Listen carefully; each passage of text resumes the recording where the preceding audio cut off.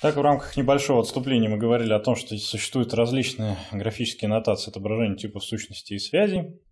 А, и а, в среде MySQL Workbench некоторые из этих а, нотаций поддерживаются.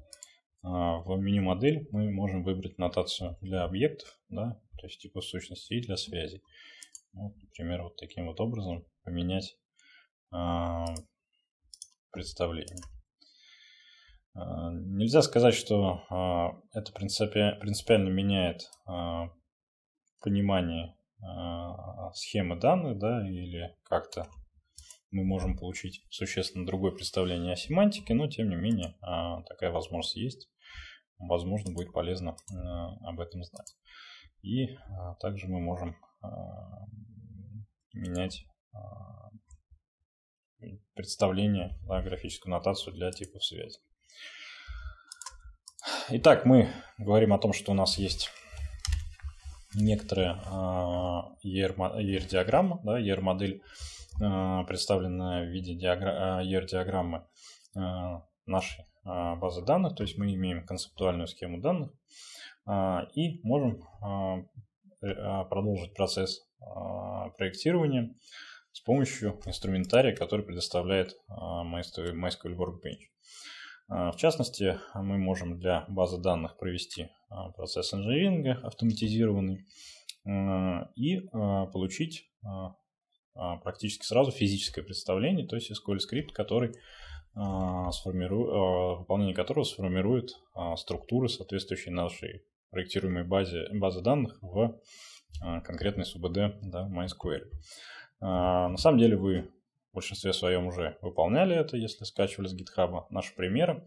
А, здесь будет ровно тоже процесс операции. Мы выполняем а, в меню Database, выбираем а, пункт Forward Engineer и выбираем соединение, в рамках которого хотим производить выполнение действий. И ну, тут выбираем понятный набор в Wizard Э, тех операций, которые необходимо э, выполнять, после чего получаем физическое представление, то есть SQL скрипт, который э, позволяет сформировать нашу базу данных. Да? Что мы в нем, собственно, видим?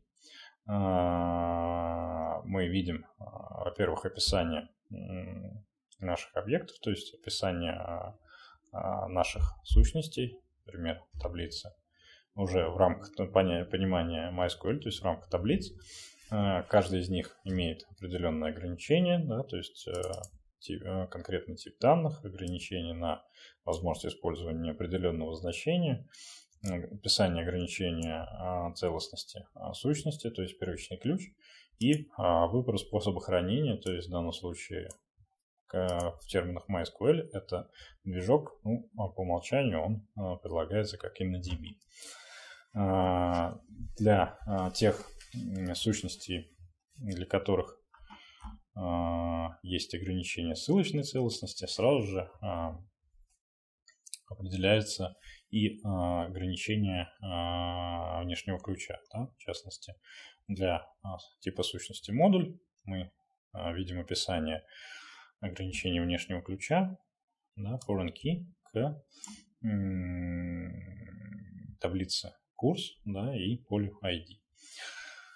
А, и а, стратегию при а, выполнении, при попытке нарушения ссылочной целостности, ну и также движок, который хранит каждую, в данном случае таблицу модуль. Выполнив этот скрипт, мы получим базу данных, соответствующей нашей концептуальной схеме, которую мы сформировали с помощью а, редактор ER-диаграмм.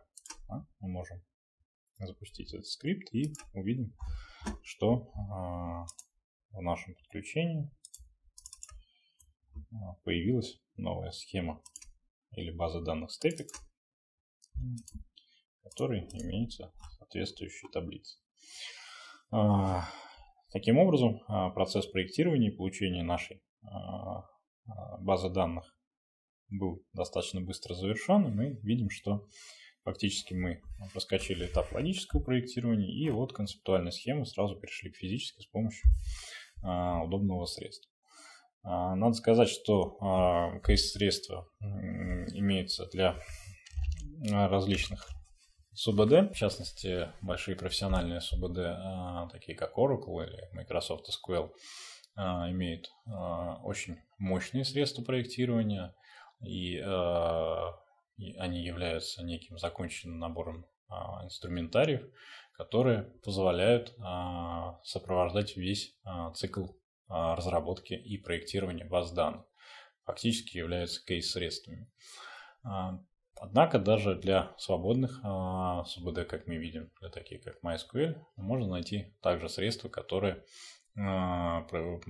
поддерживают этот процесс.